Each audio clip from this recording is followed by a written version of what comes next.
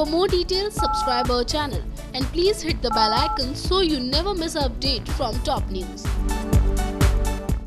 नायरा कार्तिक से लड़ सकती है। नायरा कार्तिक से वो सवाल भी पूछ सकती है जिसकी वजह से वो सालों पहले घर छोड़कर अपना शहर छोड़कर गोवा चली आई। लेकिन नायरा तब क्या करेगी जब उसके सामने उसका परिवार होगा?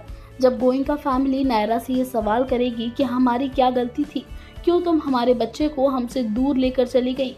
वो भी इतना दूर कि आज तक हमने उसकी एक झलक भी नहीं देखी। बेचारी नायरा, क्या जवाब देगी उन सवालों का? उन सवालों भरी निगाहों का जो एक साथ उसे तकेंगी।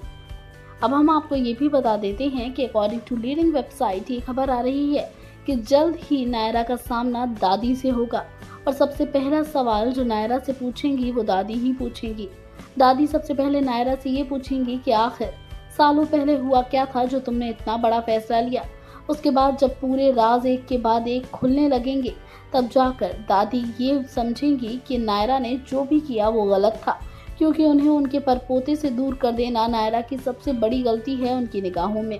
और इसलिए दादी नायरा के सामने घुटने टेकेंगी, उससे भीख मांगेंगी अपने पोते की।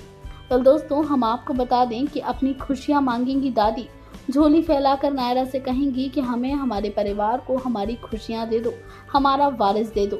लेकिन नायरा के सामने ये सबसे बड़ी कसौटी होगी। इस कसौटी पर नायरा खरी उतरेगी या फिर नहीं, ये हम तो नहीं कह सकते हैं, क्योंकि कायरव को कुर्बान कर देना नायरा की सबसे बड़ी कुर्बानी होगी। नायरा अगर कायरव को सौंप देगी गोइंका फैमिली को तो फिर इस कुर्बानी के बाद वो खुद कैसे जी पाएगी? ये सवाल सबसे बड़ा है और क्या ये कुर्बानी कार्तिक नायरा से मांगेगा? सब्सक्राइब करें हमारा channel top news just for you और कमेंट सेक्शन में आप भी हमें बताइए कि नायरा कार्तिक की इस कहानी में दादी की ये ग्रैंड एंट्री जो कि कायरव के लिए होगी वो क्या कहानी को किसी पॉजिटिव मोड पर ले जाएगी या फिर नायरा कार्तिक की लाइफ में और भी ज़्यादा ट्रबल पैदा कर देगी? टॉप न्यूज़ की report For more details, subscribe our channel. And please hit the bell icon so you never miss an update from top news.